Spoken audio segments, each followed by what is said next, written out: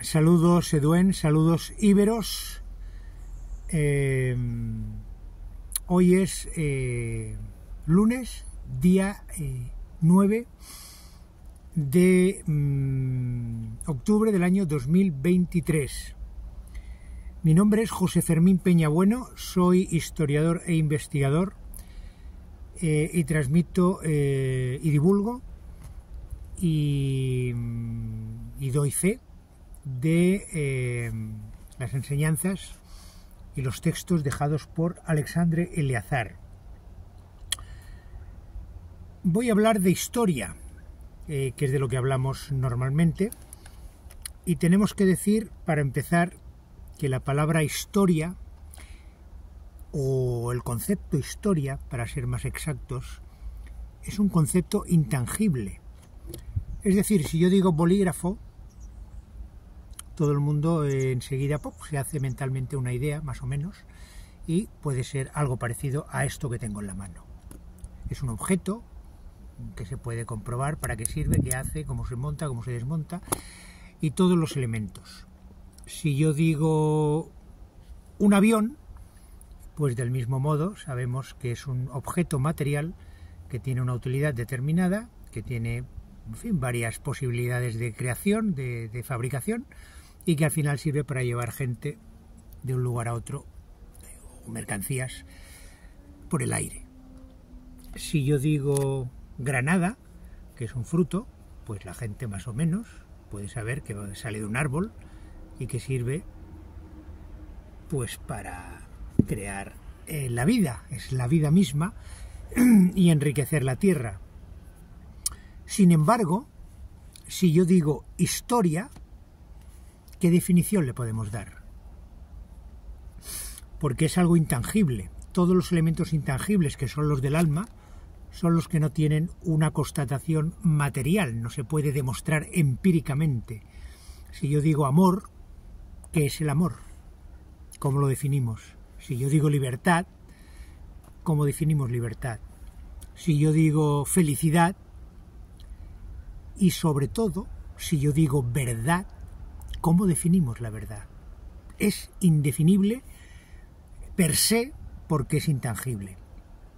Por lo tanto, son conceptos mentales, lamentablemente, dado que todos esos elementos eh, y virtudes del alma, que son eh, lo material, que es lo que sentimos, tan solo se pueden sentir, no se pueden explicar mentalmente. Así que hablar de historia no es hablar de libros, no es hablar de autores, no es hablar de conceptos, no es hablar de fechas, sino que va todo mucho más allá. Hecho este preámbulo, les voy a decir que la historia la vamos a explicar como si fueran matemáticas. ¿Ustedes han estudiado matemáticas de conjuntos? Pues es muy fácil. Hay un conjunto que se llama frutos, eso los niños de parvulario lo empiezan a hacer, que se ponen unas redonditas y ponen, mira, todas las peras tienen que ir dentro de una redondita y ponen todas las frutas dentro. Todos los aviones tienen que ir dentro de una redondita, de un conjunto, ¿verdad? A que se le llama conjunto. Todos los bolígrafos y rotuladores tienen que ir dentro de una redondita. Eso se llama matemáticas de conjuntos. Y la historia eh, es pura matemática. Porque la historia de la humanidad, de esta tierra, de donde estamos nosotros, que ha sido intentada explicar por cientos y cientos y cientos de seres a lo largo de los tiempos y siguen haciendo libros de historia. ¿Eso saben qué quiere decir? Que ninguna de, la de las historias que nos han explicado es verdad. Fíjense qué sencillo. Es así de. es matemática pura, no hay que darle a la mente. Dicen, no, es que dijo Herodoto, es que dijo Sófocles, es que dijo.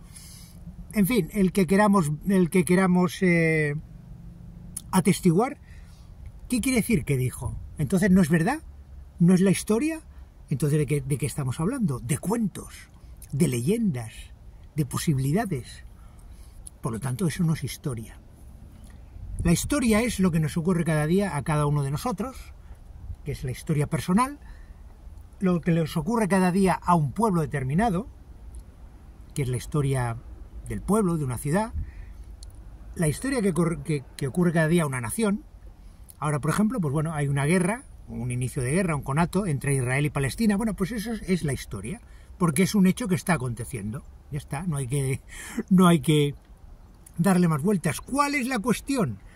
Pues que dentro de 5 años, de 10 o de 50, alguien cogerá un libro o, cogerá un, escribirá un libro y dirá, no, es que esto ocurrió de esta manera. Y lo que está diciendo es mentira. O sea, no tiene nada que ver con lo que hoy estamos viendo. Eso es lo que hacen con los niños en los colegios cada día de la vida. Por eso, uno cuando habla, con una edad como yo tengo, uno cuando habla con alguien joven y, ve lo que le están enseñando, pues claro, se asusta. Dice, ¿cómo puedes decir esto? ¿Cómo puedes decir esto? ¿Cómo puedes decir estas barbaridades que te, que te, que te enseña ese libro? Entonces, como la historia es intangible, nadie la puede comprobar. Por ahora. O, es muy, o, es, o, ha sido difícil de comprobar. Eh, si yo tengo, pues, eh, no sé, una gorra y tiene un agujero, pues todo el mundo dirá, oye, mira, te has hecho un agujero, está rota, ya no está como debería estar. Ahí es verdad, tengo que rectificar. ¿Estamos de acuerdo? Tengo que arreglarla, tengo que coserla. Pero cuando los libros de historia están llenos de mentiras, de inexactitudes, de alteraciones, ¿quién se da cuenta si nadie de los que nacen conoce la historia? ¿Se han hecho esta reflexión alguna vez? Pues vamos a las matemáticas de conjuntos y empecemos a hablar de historia, de la verdad. Porque la historia es la verdad y lo demás son cuentos. Lo que pasa es que han tergiversado la palabra historia y cuando uno dice voy a contar una historia, la gente se cree que va a contar un cuento, una invención. Eh, algo inventado, creado, como las novelas, que las películas que hacen y todo esto, ¿no? Y te dicen, no, pero bueno, tiene que ver con algo que dijo fulanito que estaba en un libro, o sea, siempre te dejan a la gente en la inopia, o sea, en la mayor estulticia, en, el mayor desconocimiento. Y cuanto más lee uno, más desconocimiento tiene, porque todo tiene una parte oculta de verdad pero como no sabemos diferenciarla, entonces no, acabamos todos absolutamente enredados y nadie en este mundo conoce la historia a no ser que haya leído a Alexandre Leazar. Así de claro y de castellano. Vamos a entrar en materia. Entonces vamos a basarnos en conjuntos matemáticos, en matemáticas de conjuntos, y vamos a decir que la historia es un gran conjunto. Es un gran conjunto de objetos, por ejemplo, que hay en la Tierra. La Tierra es un conjunto. en sí mismo, el, globo donde estamos habitando, la Tierra es un conjunto, es una unidad, pero es un conjunto porque dentro hay muchos seres. Está la fauna, que son el reino animal, están los vegetales, que es el reino vegetal, están los humanos, que es la humanidad, están los minerales, que es el reino mineral, nos vamos entendiendo, pero todo está dentro de un único, una única unidad. Pues la historia, señoras y señores, es una única unidad, no hay mil historias, porque aquí todo el mundo ha salido de la leche de su madre, ha sido alimentado de la leche de su madre y del semen de su padre, no ha salido nadie de otro lugar. ¿Está claro? No hay mil pueblos, ni mil razas, ni mil historias, todo eso es manipulación hecha a propósito para hacer que un niño que estudia en Alemania otro que estudia en Inglaterra, otro que estudia en China, otro que estudia en, Argentina y otro que estudia en Australia, cuando van al colegio están estudiando historias radicalmente diferentes. Por lo tanto, todo es mentira. ¿Me han entendido bien? Todo es mentira. O está manipulado, o no te dejan hablar de, como el señor Adolfo Hitler. ¿Por qué yo no puedo hablar del señor Adolfo Hitler? ¿Se dan cuenta? Pues esto es lo que ocurre desde hace no cientos, sino miles de años. Por lo tanto, no sabemos nada de historia. Hemos oído cosas donde yo estoy y dice, no, ¿cómo se llama? Península Ibérica. Ah, qué bien. Y empiezas a coger historia y dice, ay, ¿cómo se llama? No, vives en un país que se llama España pero ¿no se llama península ibérica? Sí, ¿y por qué no se llama Iberia, mi nación? Bueno, no, es que los íberos eran unos seres muy antiguos que, nadie sabe bien, no se sabe lo que, lo que significa su escritura. Y ya empiezan con las mentiras. A un niño de ocho años ya le están engañando. Los miserables, los cobardes, los rastreros, los indecentes, los inmorales. engañando a los niños en los colegios.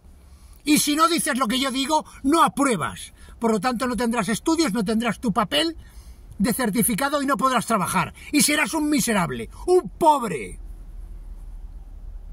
¿Qué les parece? Ese es el mundo real, ese es el mundo de la matriz, el real. No el que el buenismo barato, que todos somos muy guays y que bien nos llevamos y tal mentira. Esa es la realidad. Engañan a los niños desde chiquitines. Y esos niños suben engañados y cuando tienen 30 años pues ya no saben nada de la vida. Y a la mayoría ya no les interesa saber nada de la vida. Les da igual quiénes son, de dónde viene su apellido, dónde nació su padre, quién era su bisabuelo y por qué su pelo es de color naranja, o es de color negro, o es de color blanco. O sea que han hecho las escuelas, las universidades y todas las... Cuanto más dinero pagan, más incultos son. Es todo lo contrario de lo que nos venden. La gente más culta es la que vive en su tierra, en el pueblecito labrando la tierra, con animales se puede tener todavía, y con la naturaleza. Esa es la gente más culta y más inteligente de este mundo, porque conoce las estrellas, conocen el tiempo, conocen las lluvias, conocen la tierra. Si ustedes le dicen, les preguntan, defíneme el viento, ¿qué es el viento? Si a ustedes les preguntan, defíneme el agua, ¿qué es el agua? Si a ustedes les preguntan, defíneme el amor, ¿qué es el amor?